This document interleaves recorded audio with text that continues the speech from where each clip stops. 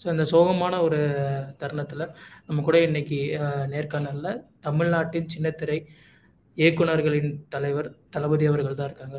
Sir இப்போ நம்ம இப்போ தான் இன்னைக்கு காலையில் தான் நமக்கு அந்த நியூஸ் வந்தது. ஆக்டர் மாரிமுத்து சார் வந்து காலமாயிட்டார் அப்படின்றது. ஸோ இந்த விஷயம் வந்து மொதல் உங்கள் காதுக்கு வந்தோடனே எப்படி சார் இருந்தது? என்ன மாதிரி ஷாக்காக இருந்தது? ஏன்னா எங்களுக்கே வந்து ரொம்ப ரொம்ப ஷாக்காக இருந்தது. இந்த விஷயம் உங்களுக்கு மொதல் வந்தோடனே என்ன மாதிரி ரியாக்ஷன் உண்மையாலுமே உலகத்துல வந்து ஒரு உயிர் எப்படி ஒரு நம்ம எதிர்பாராத நேரத்துல இந்த உலகத்தை விட்டு போகுதுங்கிறதுக்கு வந்து இது ஒரு மிகப்பெரிய உதாரணம். ஏன்னா இவரு இன்னைக்கு இருக்கக்கூடிய ஒரு சூழ்நிலையில அவர் இறப்பாருங்கிறத நான் மட்டும் இல்ல இந்த உலகத்துல யாருமே எதிர்பார்த்திருக்க மாட்டார் முக்கியமா ஒரு நல்ல மனிதர் எல்லார்ட்டையும் நல்லா பழகக்கூடியவர் நல்ல உடல் அவர் உடலை பார்க்கும்போது எந்த ஒரு வியாதியும் இல்லாத ஒரு மனிதனாக ஒரு ஆரோக்கியமான ஒரு உடல்நிலையில தான் அவரை நம்ம பார்த்துருக்கோம். ஸோ அப்படிப்பட்டதற்கு தன்னுடைய தொழில் அவர் காதலிக்கிற ஒரு தொழில் தன்னுடைய உயிர் மூச்சா நினைக்கக்கூடிய ஒரு தொழில் செஞ்சுக்கிட்டு இருக்கும் போதே டப்பிங் பேசிக்கிட்டு இருக்கும் போதே அவருடைய உயிர் பிரிஞ்சிருக்கு அப்படின்னு சொன்னா உண்மையிலே மிகப்பெரிய அதிர்ச்சி. எல்லாருக்குமே. சார் உங்களுக்கும் அவருக்கும் எப்போ சார் அந்த ஒரு நட்பு இல்லை அவரை மீட் பண்ணது அது எப்போ சார் ஸ்டார்ட் ஆச்சு? அவர் கூட இருந்த நட்பு வந்து அதை பற்றி உங்க எங்ககிட்ட சொல்ல முடியுமா? அதாவது மாரிமுத்து சார் பத்தி எனக்கு முதல்ல தெரிஞ்சிருந்தாலும் எனக்கு பல வருடங்களாக அவர் வந்து மெசேஜ்ல வந்து ஒரு குட் மார்னிங் மெசேஜ் அதே மாதிரி அவர் செய்யக்கூடிய சில விஷயங்களை வந்து ஒரு போட்டோஸ் வீடியோஸ் இதெல்லாம் வந்து எனக்கு அனுப்புவார். இது பல வருடங்களா நடந்துகிட்டு இருந்தது. ஆனா எனக்கு அவருக்கு நெருங்கிய பழக்கம் இல்லை. ஆனா இப்போ நெருங்கிய பழக்கம் எப்ப ஏற்பட்டுச்சு அப்படின்னா எங்களுடைய தமிழ்நாடு சின்னத்திரை இயக்குனர் சங்கத்துக்காக நாங்க சிடி டுவெண்ட்டி த்ரீ அதாவது சின்னத்திரை இயக்குனர்கள் இருபத்தி மூன்று இருபத்தி மூணு வருடம் ஆனதை ஒரு நினைவுபடுத்துறதுக்காகவும் எங்களுடைய சங்கத்துக்கு ஒரு பெரிய ஃபண்ட் ரைசிங் வேணுங்கிறதுக்காக வேண்டி ஒரு பெரிய மெகா ஈவெண்ட் வந்து நாங்க நேரு ஸ்டேடியத்துல பிளான் பண்ணியிருக்கோம். அந்த வகையில வந்து இந்த நிகழ்ச்சியில பங்கு பெறதுக்காக எங்களுடைய சின்னத்திரையில் இருக்கக்கூடிய அனைத்து நடிகர் நடிகைகளும் இயக்குநர்களையும் நாங்க பார்த்து பேசும்போது தான் இந்த எதிர்நீச்சல் ஷூட்டிங்ல நாங்க சந்திச்சோம்.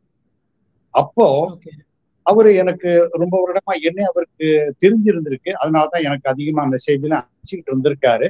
பட் எனக்கு நேரடி பழக்கம் இல்லைனோட என்னை பார்க்கும்போது ஒரு பழைய நண்பராகவே அவர் பார்த்து என்கிட்ட பேசினாரு.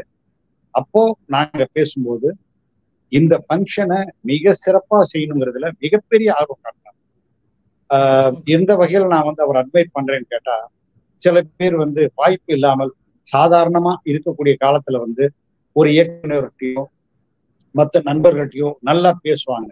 ஆனா தனக்கு வந்து நல்ல வாய்ப்புகள் வந்து பிஸியா இருக்கக்கூடிய நேரத்துல தனக்கு தெரிஞ்ச நண்பர்களோட யாரோ மாதிரி பார்ப்பாங்க. சோ அந்த வகையில இவர் இவ்வளவு பிஸியா இருக்கக்கூடிய ஒரு நேரத்துல தான் அவரை நான் சந்திக்கிறேன்.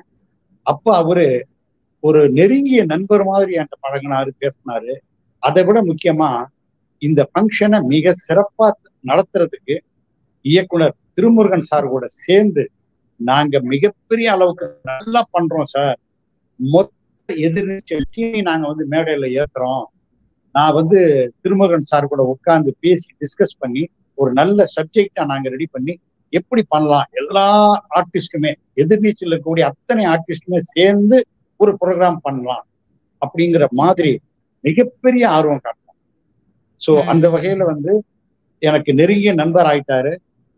அப்ப நான் அட்மையர் பண்ணது வந்து இவ்வளவு பிஸியா இருக்கக்கூடிய ஒரு மனிதன். அப்படியா? சரி ஓகே பண்ணலாம் செய்யலாம் எப்போ ஏது? அதே மாதிரி அந்த நேரத்துல சில பேர் சொல்லுவாங்க நான் கொஞ்சம் அந்த நேரத்துல வெளியூர் போறேன். அப்படிலாம் நிறைய பேர் காரணங்கள் சொல்லுவாங்க. ஆனா இவரு அவ்வளவு ஒரு ஆர்வம் காட்டினாரு. அந்த வகையில அவருடைய நல்ல மனதை நான் புரிஞ்சுக்கிட்டேன்.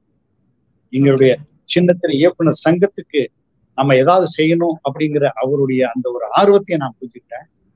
அந்த வகையில வந்து நான் வந்து உண்மையில அட்மயர் பண்ணிட்டு இருக்கேன் அவர். இப்படி ஒரு பிஸியா இருக்கக்கூடிய ஒரு மனிதன் இந்த அளவுக்கு நம்மளுக்கு ஒரு கோஆபரேஷன் தராரு அப்படின்னு சொல்லிட்டு நான் அட்மயர் பண்ண ஒரு கதை ஓகே. சார் இப்போ நம்ம அவர் வந்து ஸ்க்ரீனில் பார்க்கும்போது ரொம்ப ரஃப்பாக இருந்திருக்காரு. ஏன்னா அவரோட கேரக்டர் அந்த மாதிரி.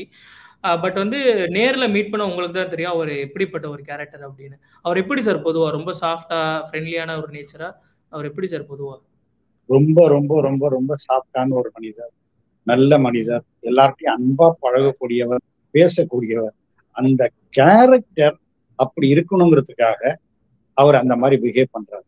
ஸோ திருமுரு திருச்செல்வம் சார் வந்து அப்படிப்பட்ட ஒரு கேரக்டர் அவருக்கு கொடுத்திருக்கிறாரு. அந்த கேரக்டரை ஜஸ்டிஃபை பண்றதுக்காக அவர் நடிச்சிருக்கிறார்.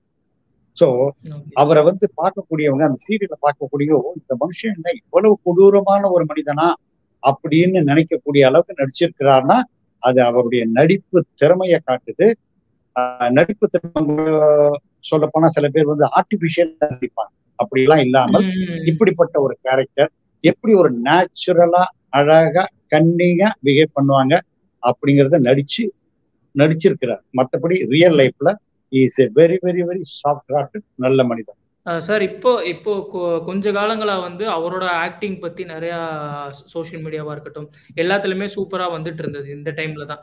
பட் இந்த ஒரு டைம்லயே அவரோட இதுவும் ஆனதுனால ஒரு தமிழ் இண்டஸ்ட்ரிக்கா இருக்கட்டும் இல்ல சீரியல் இண்டஸ்ட்ரிக்கா இருக்கட்டும் எவ்வளவு பெரிய லாஸ் சார் இவரோட நிச்சயமா நிச்சயமா. அதாவது இன்னைக்கு கோடான கோடி பேர் வந்து இன்னைக்கு வந்து எதிர்நீச்சல் சீரியலை பார்த்துட்டு இருக்கிறாங்க. அதுல. அவருடைய கேரக்டர் எவ்வளவு முக்கியத்துவம் வாய்ந்ததுங்கிறதையும் எல்லாரும் பார்த்துட்டு இருக்கிறாங்க ஸோ நிச்சயமாக எல்லாருமே வந்து இந்த கேரக்டர் என்ன பண்ண போறாங்க அப்படிங்கிற அளவுக்கு இன்னைக்கு எல்லாருமே ஷாக் ஆயிருக்காங்க. அதாவது இப்படிப்பட்ட ஒரு நல்ல மனிதர் இறந்துட்டாருங்கிறது இன்னொரு பக்கம் ஒரு அதிர்ச்சி. இந்த சீரியலை பொறுத்த வரைக்கும் வந்து இப்படி ஒரு ஆங்கரிங்கான ஒரு சீரியல் ஆங்கரிங்கான ஒரு கேரக்டர் அவருக்கு அதுல. ஸோ இந்த கேரக்டர் இப்ப இறந்துட்டாரு இதை வந்து எப்படி இன்னொரு கேரக்டர் வந்து அதை ஜஸ்டிஃபை பண்ண போறாங்க அப்படின்னு எல்லாருடைய மனசுலயும் ஒரு பெரிய ஒரு அச்சம் இருக்குது. ஆனா திருமுருகன் சார் கிரியேட் பண்ண கேரக்டர் தானே? இதை எப்படி கொண்டு போகணுங்கிறது அவருக்கு மிகப்பெரிய ஷாக்ல இருப்பாரு. ஏன்னா இவருடைய நடிப்பு திறமையை பார்த்துதான் அவருக்கு இப்படிப்பட்ட ஒரு கேரக்டர் கொடுத்தாரு. கொடுத்தது மாத்திரம் இல்ல அவர் ஒவ்வொரு முறையும் ஒவ்வொரு முறையும் நடிக்கக்கூடியதை பார்த்துதான் அந்த கேரக்டரை டெவலப் பண்ணிக்கிட்டே இருந்தாரு. ஸோ அப்படிப்பட்ட திருச்செல்வம் சாருக்கு நிச்சயமாக இதை எப்படி வந்து காம்பன்சேட் பண்றது இந்த இந்த இழப்பை எப்படி காம்பன்சேட் பண்றதுங்கிறத ஒரு இயக்குனராக ஒரு சிந்தனையாளராக அவர் திங்க் பண்ணுவாரு. நிச்சயமாக அதை அவர் சக்சஸ் ஓகே அதான் சார் இப்போ நம்ம எத்தனை பேர் அது வந்தாலும் நல்லாவே பண்ணாலும் பட் இவர் இல்லைன்றது இவர் அந்த ஒரு கேரக்டர்ல பார்க்க முடியலன்றது ஒரு வருத்தம் தானே சார் மேபி இன்னொரு ஆள் வரலாம் நிச்சயமாக. நிச்சயமாக இருக்கும் ஏன்னா இன்னைக்கு வந்து எல்லா குடும்பத்திலையும் அவர் வந்து ஒரு அங்கத்தினர் மாதிரி ஆயிட்டார். தினம் வந்து அந்த சீரியலை பார்க்கும்போது இதோடைய ரெக்கார்டு பாத்தீங்கன்னாக்க முதல்ல எல்லாம் சீரியல்ஸ் எல்லாம் வந்து வாரத்துக்கு அஞ்சு நாள் வந்துட்டு இருந்தது. அதுக்கப்புறம் அது ஆறு நாள் ஆக்குனாங்க. இப்ப வாரத்தின் ஏழு நாளும் இந்த. எதிர்நீச்சல் வந்து சார் இந்த ஒரு டஃப் டைம்லயே வந்து உங்க டைம் வந்து எங்களுக்காக அவரை பத்தி கொஞ்சம் விஷயங்கள் வந்து ஷேர் பண்ணிருக்கீங்க அதுக்கு ரொம்ப தேங்க்ஸ் சார் உங்க டைம் கொடுத்ததுக்கு. அவருடைய நல்ல மனிதருடைய ஆத்மா சாந்தி அடைய நம்ம எல்லாருமே அவருக்காக நம்ம வேண்டி